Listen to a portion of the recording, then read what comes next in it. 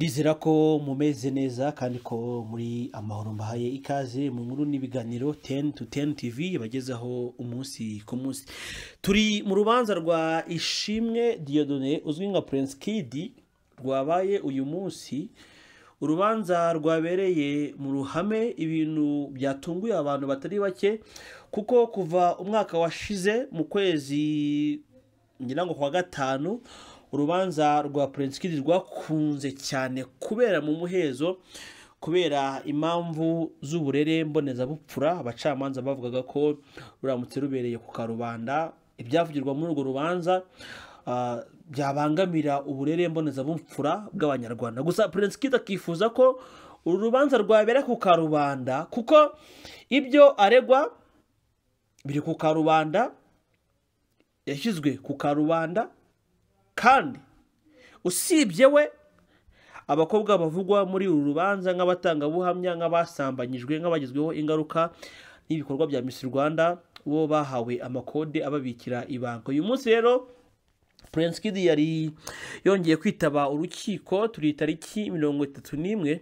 Uru rubanza rwabaye Prince Kid ari umugabo wa Iradukunda Elsa ndetse muri publike yitabiriye urukiko ngira ngo ku mashusho muri kubona ko Iradukunda Elsa yari yitabye uru rubanza aje kumva ibyo umugabo we aregwa. Mbibutse ko Iradukunda Elsa umwaka washize mu kwezi nk'ukwa gatanu yafunzwe akurikiranyweho inyandiko mpimbano abantu bakagira bati uyu Iradukunda Elsa afunzwe kubera impamvu z'urukundo.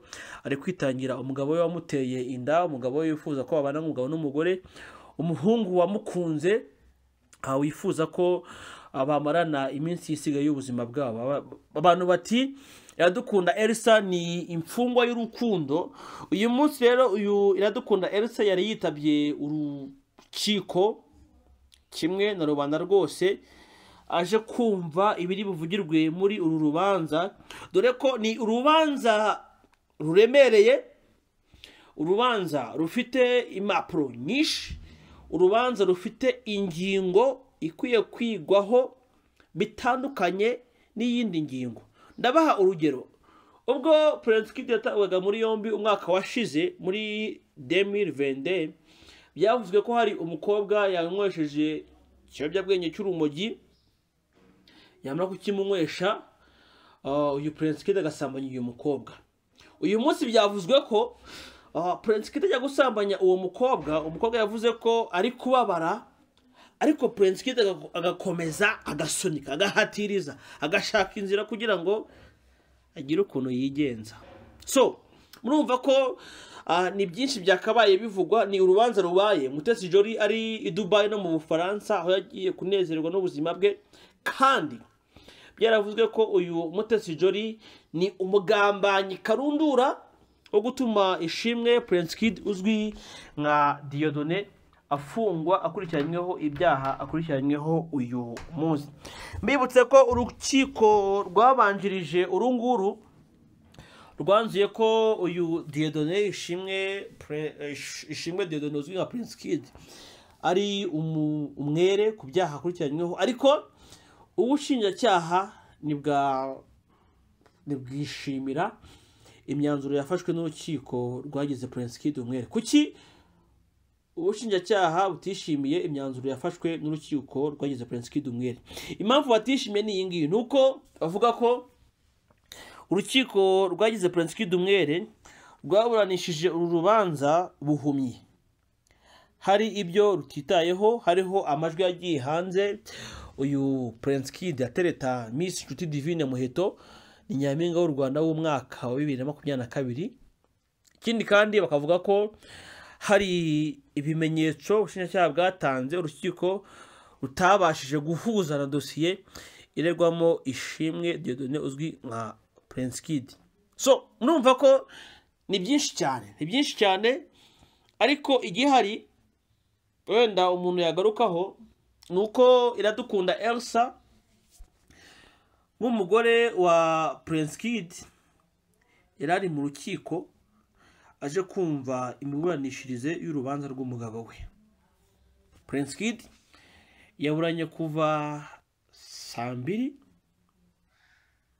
kugera saa munani hafatwa pose yongera kwitaba urukiko baraburana kugeza mu kanya gato kashize. Prince Kid ni umugabo utava ku izima kubera ko atemera ibi byaha byose aregwa akavuga ko birimo nk'icyaha ashinjwa cyo gushaka gushukisha muheto kuba yabona ikamba. Akavuga ko ah, adafite uburenganzira bwo kuba yaha umukobwa uwo ari we wese ikamba rya Miss Rwanda ah, cyane ko ataba mu nteko y'abajije cyangwa y'abacamanza bahitamo umukobwa uzaba Miss Rwanda. Kid akavuga ko mu by'ukuri amajwi yagiye hanze ya Miss- ya Miss Nshuti Divine Muheto uh, nko mu rubanza rwabanje byaravuzwe bivugwa ko uh, Prince Kid ntago ari guhoza ku nkeke uyu Nshuti Divine Muheto kubera ko ikiganiro bagiranye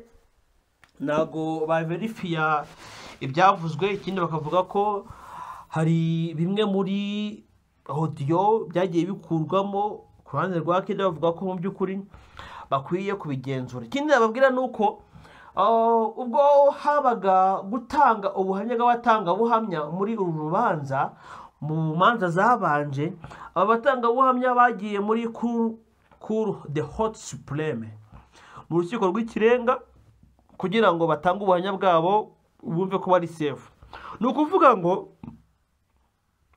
aha inyandiko elsa yafungiwe ubushinjacyaha bwavugaga ko ari inyandiko mpimbano. N'uyu munsi niko bavuze. Ariko urukiko ruza gusanga izo nyandiko ah, zahabwa agaciro. Kuko oh, nubwo hari abakobwa bagiye kubazwa muri rib bakagira sitatimenti batanga ariko kandi hari n'ibyo nabo ubwabo batangaje bashinjura Kid bavuga ko ni umuntu mwiza ntiyabasambanyije ibihembo bahawe babihawe nta ruswa y'igitsina ibayemo babihawe. Hatabayeho imibonano mpuzabitsina mu by'ukuri byerekana ko hagati y'ubushinjacyaha na erema z'ubushinjacyaha bakoresheje harimo kwivuguzanya bya hato na hato bituma uru rubanza rukomeza kuba agatereranzamba gusa icyo twiteze muri uru rubanza niba Prince Kid atarasambanyije aba bakobwa reka duhere kuri Miss Mutesi Jolly duhere kuri Miss Iradukunda Elsa duhere kuri Miss Megane ni mwiza kuri Miss Iradukunda Lilian kuri Miss Ingabire Grace kuri Ishimwe Naomi no kuri Miss ah, Nshuti Divine Muheto. Mu by'ukuri ni bande basambanyaga aba bakobwa bitabiraga irushanwa rya Miss Rwanda? Uyu munsi twagize amahirwe kuko urubanza rwabereye mu ruhame. Ni ibintu byatunguye abantu benshi kuko ni ikintu Prince Kid yifuje kuva umunsi wa mbere atabwa muri yombi aburana kuri 30 jours zo kujyanwa imageragere kugeza umunsi arekurwa akagirwa umwere ndetse akanakora ubukwe nyuma yaho. So kuki uru rubanza rwabaye mu buryo bw'uruhame? Rukaba publike ihari. Impamvu uru rubanza rwabaye publike ihari reka nyibabwire mutaza kujyana ibintu by'ibinyoma ni ukubera ko mu by'ukuri umucamanza yasuzumye izi mpamvu zose aza gusanga ibyaburanwaga kuba abatangabuhamya ndetse na victime. Haba umutesi jori ubwo nawe ni victime haba iradukunda elsa n'abandi bamisi bagiye batandukanye kuba barahawe kode kuvuga ngo hari uyu mucamanza namukunzi kuvuga ngo aba bakobwa bazakora ubukwe mu minsi iri imbere bazabikine ivi na ivi yasanze arareba aravuga ati ah mwe kumbeshya. Ko aba bakobwa bafite kode. Bakaba mu by'ukuri tutazi amazina yabo. Kuki Prince Kid ushinjwe ibi byaha? By'urukozasoni ari we wenyine. Wajya mu ruhame. Aravuga ati nimureke urubanza rubere ku karubanda. Abantu bose bumve ibyaberaga muri Miss Rwanda kuko Kid yakomeje yensista hamwe n'abamwunganira barimo Maître Nkemba bavuga bati mu by'ukuri abanyarwanda bizeraga Miss Rwanda bakeneye kumenya ibyaberaga muri iyi Miss Rwanda kuko aba ni abakobwa bagwije imyaka y'ubukure bazaga muri Miss Rwanda. Bohejwe n'imiryango yabo. Ariko ibyabaye imiryango ikeneye kumenya ngo ese abakobwa bacu bajyaga ahantu batekanye? Cyangwa bajyaga ahantu badatekanye? Aricyo kintu Prince Kid yaharaniye kuva ku munsi wa mbere yatabwa muri yombi. Ibyakunzwe kuvugwa ko Prince Kid yagambaniwe na Miss Mutesi Jolly abantu bari bitabiriye iri buranisha bati se kuki? Ah, iri buranisha ribaye Mutesi Jolly yaraciye mu Bufaransa mu cyumweru cyashize. Uyu munsi akaba ari i Dubai. Kandi na mbere yaho ubwo iradukunda Elsa yajyaga gu- gu- gukatirwa asomerwa imyanzuro y'urubanza. Miss Mutesi Jolly n'abandi ba Miss baricaye bagaserebura mu by'ukuri ibyari biriho biba hagati ya iradukunda Elsa na ishimwe Dieudonne bati bisa nk'aho uru rubanza mu by'ukuri ruruta ibyo twibwira nk'abantu. Ikindi kandi rukaba rurimo n'amashyari twe nk'abantu tutabasha kumenya. Amashyari ni ayahe? Kid ajya gukora ubukwe ni ubukwe bwabaye mu ibanga. Bati impamvu ubukwe bwabaye mu ibanga ni uko hari umukontere sikise wifuza kwica ubu bukwe. Abantu bati se uwo mukontere sikise ninde abantu biraducanga biratuyobore biratuyobera ah, dusigara turi mu gati. Ariko abarebera kure iby'imyidagaduro bati Prince Kid abamushinja kuko mu manza zatambutse byavuzwe ko hari umukobwa wavanyemo inda ari kumwe na Mr mutesi jori ubwo ni akariza hope. Kandi iyo nda ikaba yarinda ya Prince Kid. Mu by'ukuri bikaba ibintu byakururukuru ku bigo n'uyu munsi ntabwo abantu baramenya ngo uh, mutesi jori yagambaniye Prince Kid gute? Uh, byagenze gute? Se koko Prince Kid byahashinjwa ntabwo byaba byarakozwe n'abandi bagabo bikitirirwa we? Cyangwa ibyaha Prince Kid ashinjwa ntabwo byaba ari ibyaha biri aho ngaho mpimbano kugira ngo iterambere yamaze kugeraho n'ibiki bindi bitandukanye abe yabyamburwa bibe byahabwa abandi bantu. Cyane ko muri uyu mwaka turimo wa bibiri na makumyabiri- na gatatu Miss Rwanda ntabwo izaba bivuze ko na n'ubu minsi tuzabona uzitabira Miss World turindira uyu mwaka utaha kugira ngo turebe ko n'irushanwa rya Miss Rwanda rizaba.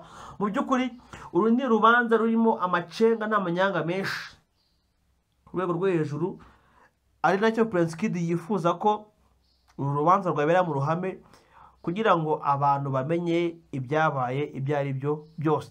Nk'ibyavuzwe ko Prince Kid uyu mukobwa ah, ufite kode we yaje kumusura Prince Kid agashaka kumusambanya umukobwa akabanza kubabara kubera ko nta bushake yari afite cyangwa nta ariko.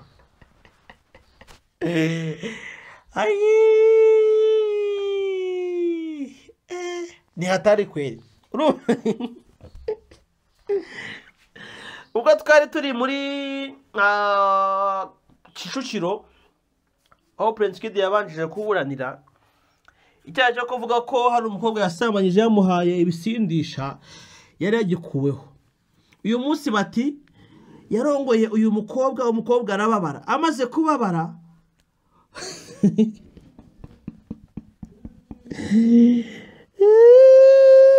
Uyu-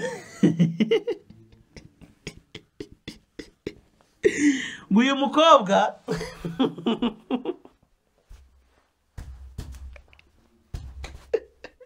kidi wagorwa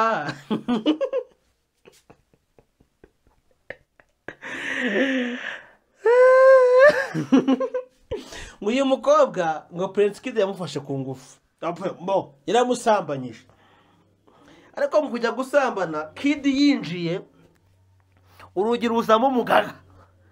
Urugi rujemo umugaga Prince Kid ashaka kuvanamo umugaga. Arahatiriza. Umugaga uvamo. Ibi bintu bibaye bishyashya. Twarumvise ngo uyu mukobwa ngo yaje kwa kidi yasinze ngo yaha nyine ni ibintu mu- muri kicukiro baravuze bati ntabwo twahamya ko uyu mukobwa yahawe urumogi cyangwa ko byagenze uku nguku cyane ko kuba azi ko kwa Prince Kid iwe mu rugo habamo inzoga bitaba ishingiro yo kuba yarasambanyijwe na Prince Kid. Ikindi bati ni kuki uyu mukobwa ibyamubayeho yabivuze oh, nyuma y'imyaka runaka ibintu bimaze igihe bibaye kandi tutari bubasha kujya kugenza icyaha no kukigenzura? Aho ntabwo haba harimo imitego. Mu by'ukuri wabonye ko ni urubanza kidegeza amahirwe yo kuba yaburanira mu ruhame kugira ngo avuge imbamutima ziwe ndetse anabashe kumvisha urukiko ko ibyaha ashinjwa ari ibyaha bihimbano ari ibyaha birimo amanyanga menshi. Nibyo byabaye. Tukaba turindiye ko uru rubanza ruzasomwa nyuma y'icyunamo nyuma y'icyumweru cyo kwibuka abazize jenoside yakorewe abatutsi muri mata igihumbi kimwe magana cyenda mirongo icyenda na kane ni bwo perezida azamenya imyanzuro y'urubanza rwiwe. Ariko kandi abari bitabye iri buranisha ntibahamye kuvuga ko ngo ndavuga iradukunda Elsa n'abandi bagiye batandukanye bo mu muryango we no mu muryango wa Kid dore ko bamaze kuba umugabo umwe bakaba n'umugore umwe bakaba umubiri umwe muri rusange. Bavuga ko uyu musore uyu mugabo arengana ni urubanza rwabaye uyu Kid yarahinduye sitati y'imibereho yiwe cyane ko ari umugabo washakanye na Iradukunda Elsa ariko ibyaha bikavuga ko byakozwe mbere y'uko abana na Iradukunda Elsa. So ngayo nguko byinshi. Tuzabisesengura tuzababwira uko byagenze ariko nimugire imana n'umugisha turabakunda tubifuriza ibyiza muhabwe umugisha naho ubutaha.